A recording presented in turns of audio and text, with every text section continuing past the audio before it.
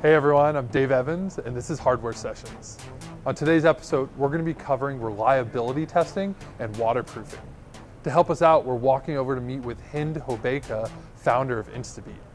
Instabeat is an attachment for your goggles to get real-time heart rate and lap times as you're swimming in the pool. Let's go dive in.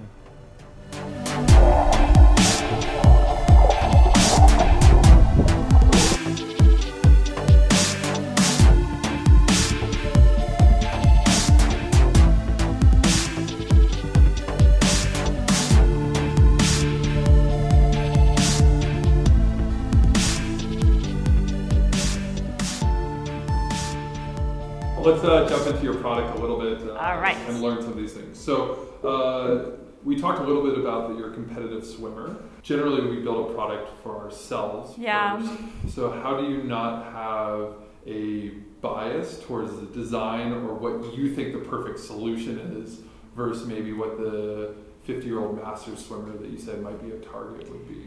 Yeah, I mean, it's really hard, and I don't have like a clear cut answer to that. I think having a team makes it a little bit easier for you not to impose your ideas because you need to be respectful and mindful of their decisions. Also, I made it a point that most of the team members are swimmers, and so they also have valid opinions that don't agree with mine. And so um, I try to be as open as possible, but it doesn't always work. And if something is not the way I want it, it bugs me so much. but I don't voice it because I feel like I can't. Uh, we also try to do lots of um, pool tests and pool surveys. So I spend a lot of time at the pool actually talking to other swimmers. And I am from the school that observing is better than asking questions. So I actually go and just watch people using the product, and it gives me a lot of insights on what the majority wants. But it's hard. It's not. It's not easy, and you don't realize that you're subjective. Yeah, I love that observing rather than asking questions. is Yeah. the answer. Yeah. I think that's really key. Um, so maybe diving into some more of the technical stuff now. You've been working on a vast variety of all these products, uh, and you must have an immense amount of knowledge. Uh, Yeah. where- so maybe talk to me a little bit about how you guys conducted your first waterproof testing, and, Yeah. and how did you think about tackling that, that really hard challenge? You know, waterproofing is really, really difficult, especially when you are trying to build a product that is small and flexible. You can't just have a plastic box with gaskets and screws. And yeah, I mean, this it it was kind of waterproof, but it was so big, like swimmers didn't want to wear it and didn't want to test it. And so we moved actually from this, the very first design, to this. So this is the form factor we established. And to be very honest with you, it took us almost a year before we were able to get in the water, just because I- try nail polish, it just wouldn't work. I tried epoxy, then it would fail after an hour, uh, or it would crack because it needs to be flexible and mounted. We've even tried like hand pouring silicone. It works for an hour, then it fails. The first real waterproofing test we were able to do was only when we actually did like with a professional uh, tooling, well, not a model shop. Um, they actually did the um, over molding for us, and this is when we were really, really able to test in the water and um, understand the limitations of the product in the water.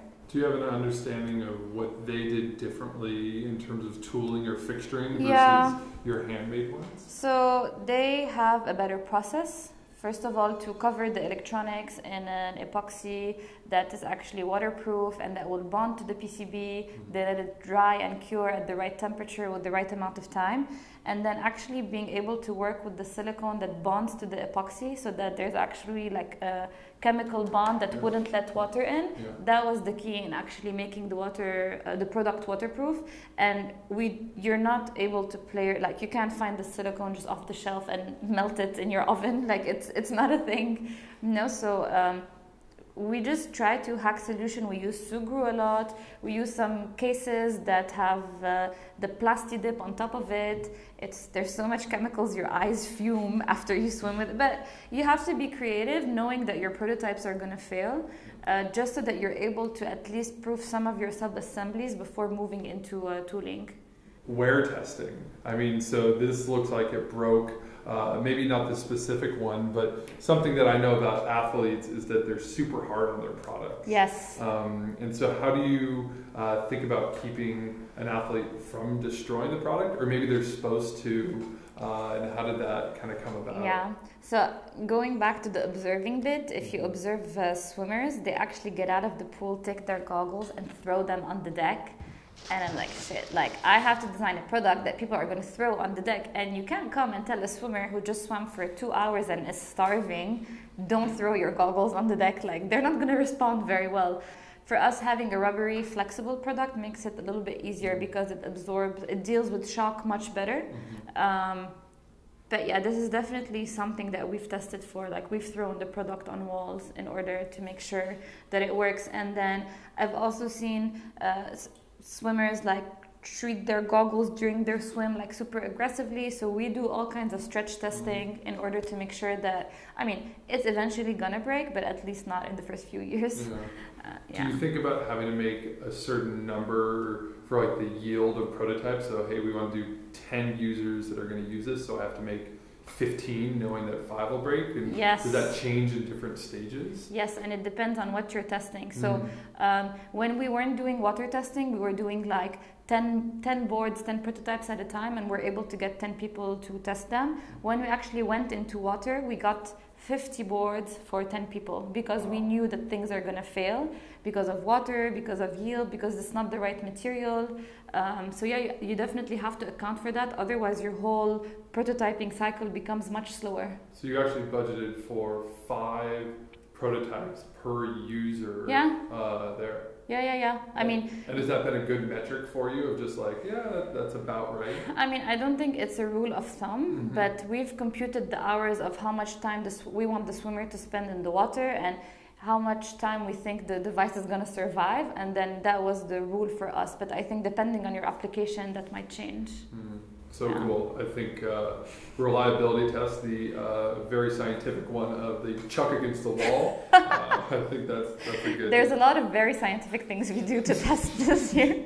Uh, we call it the, the flex and the throw. Yeah, exactly. No, we no, even like- have like big buckets of water here, Yeah. and then you just put your head in it and we stretch it. I mean, you have to get creative. Like, we don't have the ability to go to very expensive test labs to do these kind of tests. We need something that's representative enough. Mhm. So we, we get creative, you yeah. a bucket of water and uh, And wa- wash your your- hair a couple times. Oh, that's fine. I'm Used to that, so it's fine.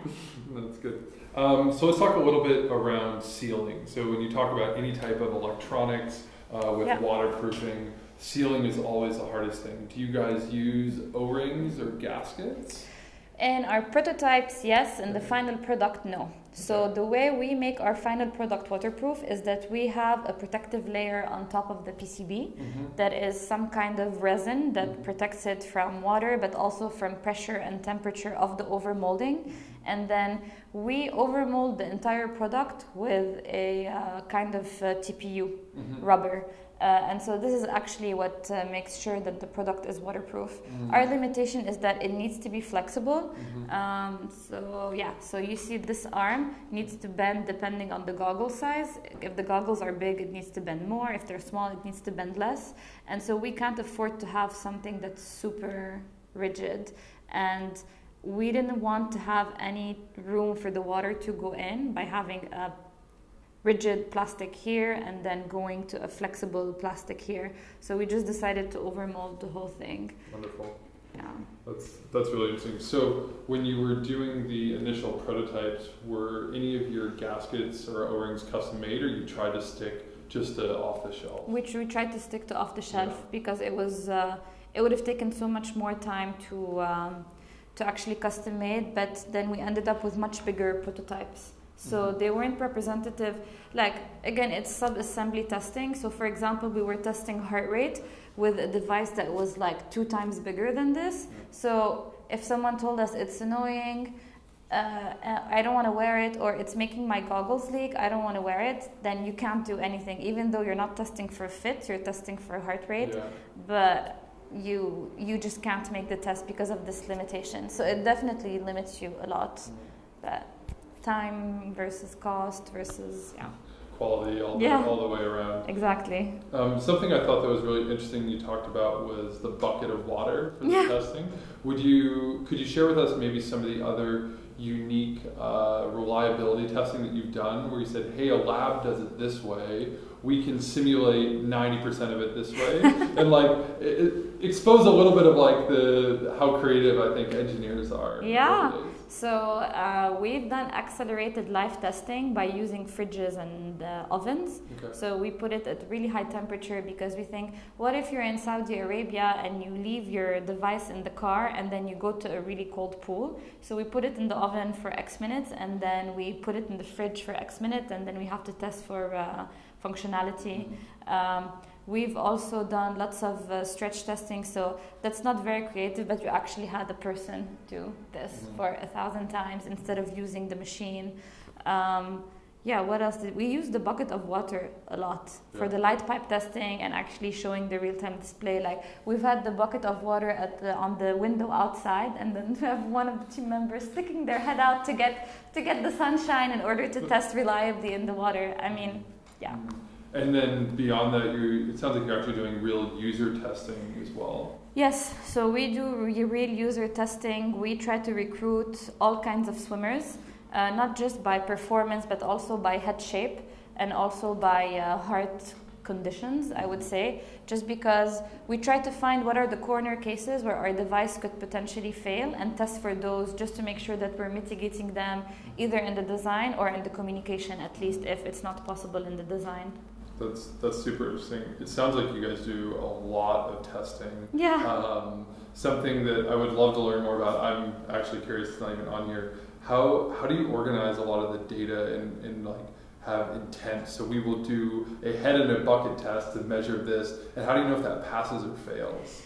It's it's a lot of trial and error. Okay. It's we have three test engineers that Okay. their full time job is just to test, and um, I'm obviously always testing also. Um, it's a lot of iterations, honestly. Like I can talk about the ergonomic testing, for example. So the idea is that we want that any person in the world picks any goggles that they like to wear, and they put Instabeat on it, and it needs to work. And at first we thought it needs to work is okay, they just swim freestyle and then it's fine. If it doesn't leak, it's great. But then we realized that when people push off the wall, actually that's when the real leakage happens. But that only took us a few tests in the water to identify that source. We, only, we also had some people leak when it breathes because their cheek is pushing up the device. So these are all things that you learn while running your initial set of experiment, and then you like you modify your protocol in order to account for these corner case scenarios. Uh, so yeah, I mean it's experience, it's knowing the product really well, it's using it yourself. I think it's really important that every single person on the team uses the product and not just the test engineers because they get used to the product a lot, so they stop seeing what newbies could see. So I have everyone on the team test all the time. Everyone's so hiring requirement for you is you must stick your head in a bucket of water in order to test. It's it's no, it's it's you're not joking. It's uh, if you look at our angel list uh, post, it's actually must swim at least one stroke. I I don't think I can have at least today on my team someone that's afraid of water. Mm. Like everyone needs to get in the water at least once because yeah, it's we're a product company and we're only trying to push one product. So it's really important that everyone knows how to use it, at least tries it, has some connection to it because that's all you're working towards. every day. Yeah, exactly. passion for it. I love it. Um, so the last question, uh, well, I have two. First one is, what resources around waterproofing would you give to an engineer today that has to go learn on it? Is there a textbook, a website, a, a video that you watched, anything? Um, you know the Fictiv blog actually, and I'm not just saying this because you're here, but you guys had a great article on gaskets and O-rings and how to do the waterproofing, and we actually got inspired by that to do our big bulky cases for the heart rate testing. Uh, otherwise, I, I think there are lots of like hobbyist in articles online, especially instructables on like how to waterproof things. I don't think they work very well. I think we know the materials that work for us, and they're like silicone, epoxy, and then sugru is good sometimes depending on the application. and we always try to use a combination of those uh, in order to test in the water. That's cool. Uh, thanks for the plug-in. I'm glad to hear it's actually. No, it's actually I'm, it's real. It's I'm, I'm not joking. It's, it's a real statement. Well, it's good to hear. We'll keep writing more technical content. Yeah. Um, so the last question is if you could tell yourself five years ago something just about waterproofing, I'll narrow it down. What would you tell yourself five years ago that you wish you knew, uh, kind of as you were first uh, starting Instabeat? So I think there are two elements to it. I think first of all, the psychological element of waterproofing is that I used to get frustrated so much about units failing in the water and didn't understand why nail polish wasn't working.